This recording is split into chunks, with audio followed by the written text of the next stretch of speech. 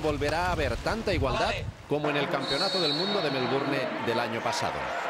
España logró allí la clasificación directa para los Juegos al conseguir la medalla de bronce. Después de perder en semifinales contra Hungría en la prórroga y de ganar a Serbia el bronce por penaltis. Con tanta igualdad, cualquier detalle cuenta. Y en uno de esos detalles, la selección española va por delante de todas las demás, en que tiene la mejor tecnología, medios y programa informático para trabajar en entrenamientos y en preparación de partidos. La empresa mundoentrenador.com es de San Cugat y ya trabaja, entre otros, con 15 de los 20 equipos de la primera división de fútbol. El último, el Real Madrid. Esa tecnología, el CAR de San Cugat la ha puesto al servicio del waterpolo. Es una cosa que demandábamos hace tiempo, que sé que a mis jugadores eh, lo desean, lo quieren y por lo tanto intento innovar y que mis jugadores tengan una motivación más especial para hacer un trabajo que será evidentemente muy duro. Para la demostración en el agua, chicas de la selección catalana. Tras la portería, una cámara.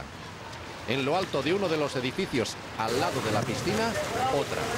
Las imágenes las graba y manipula en discos duros el segundo entrenador, Antonio Aparicio. Entonces la corrección es automática. En el momento en que se ven ellos cómo lo están haciendo, hostia, es verdad, tenía que haber ido un metro más para allí. Ya, ya está, y al siguiente movimiento ya lo pueden hacer correctamente. ¿no? Como los tres responsables están intercomunicados, los ayudantes pueden aportar información instantánea a Rafa Aguilar. El brazo ahí, ¿eh? está bien para verlo. El brazo de esta jugadora, Sí, sí, sí. tapar ángulos, ellos pueden moverse lo que quieran. Tu objetivo es tapar ángulos. Para hacerse oír, el seleccionador no tiene que desgañitarse. Lo que dice se oye perfectamente por megafonía. Y siempre que quiere, convoca a la tropa en la banda para revisar en una pantalla de 42 pulgadas una u otra jugada desde una u otra cámara tantas veces como haga falta. Levanta bien el brazo al lado afuera, mira dónde lo tiene el brazo. ¿Por dónde entra este balón? Lo ven al instante, ganamos tiempo, somos más eficaces en el trabajo, porque disminuimos el tiempo y además hacemos cómplices a todos los compañeros de aquellas cosas que se me corrigen o que se me proponen, de todas las instrucciones que tenemos que llevar adelante.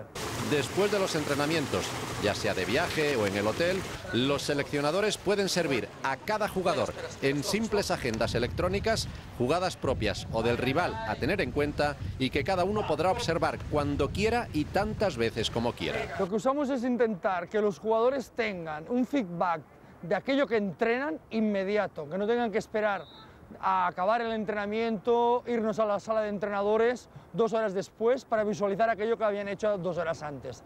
Ejemplo práctico. Partido de semifinales contra Hungría en Melbourne. Uno de los mejores zurdos del mundo, Gergely Kiss, supera a Kiko Perrone y al portero Iñaki Aguilar. Acostumbrado a leer el waterpolo en imágenes, Kiko Perrone pudo ver la repetición del gol en la pantalla gigante de la piscina. El hispano-brasileño tomó nota y en la siguiente jugada, aún estando en inferioridad, Kiss ni tan siquiera vio la opción de lanzar.